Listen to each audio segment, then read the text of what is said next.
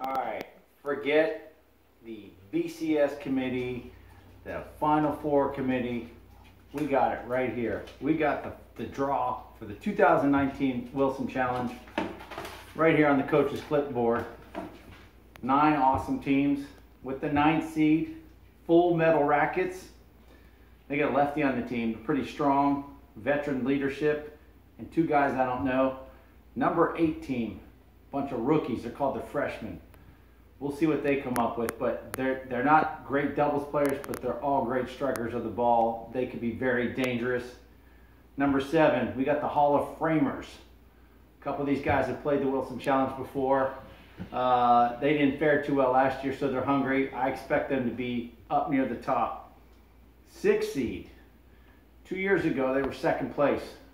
The Cobb Hitmen. They've got two of their veterans back and a youngster. So look out for the Cobb Hitmen. The fifth seed, the Fuzzy Ballers.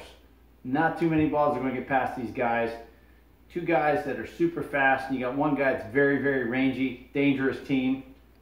The four seed, Triple D. I only know one of these players, but they're solid. With the third seed, could be one of the most creative names. Three veterans, veterans in this tournament. Preparation HD. I'm not sure what to expect from these guys. The two seed, they are the Deuce Bags. Big lefty, two strong players.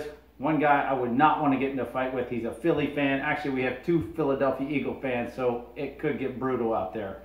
With the one seed, returning veterans, two of the three. Before I give you the name, we had a different name. They were called Clubbing Seals. And the seal, seal killer had to pull out due to an injury.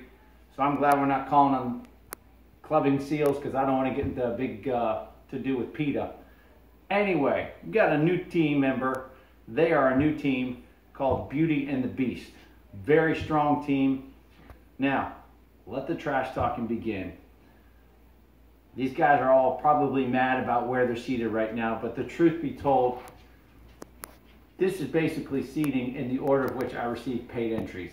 Everybody plays everybody. It's going to be a great day of tennis on Saturday.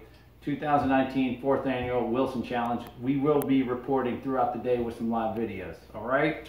So, have a good day.